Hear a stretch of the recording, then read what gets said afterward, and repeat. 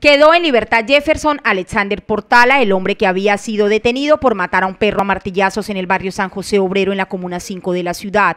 Los vecinos del sector no salen del asombro por la decisión del juez. Los animalitos es como un ser humano, lo que pasa es que no hablan, pero también les duele, también sienten sed, sienten todo. Y eso, no, no ponerle mano dura a ese tipo, no, no sé qué estamos haciendo aquí en Colombia.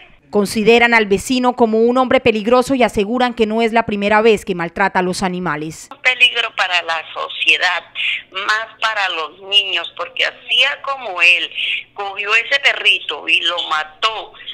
Imaginé que puse que hervir un, primero pues hervir uno ya de agua y se la zampó al perrito y luego lo cogió a martillazos.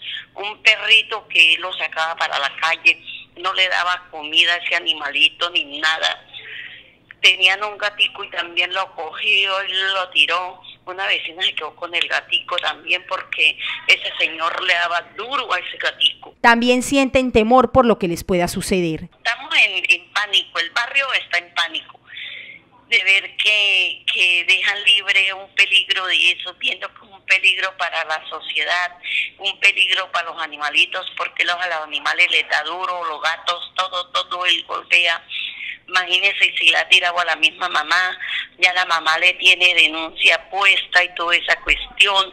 No sé, esta fuerza o este juez que vio ese drama y déjalo libre. Las condenas contra el maltrato animal están por los 18 meses, pero son escarcelables.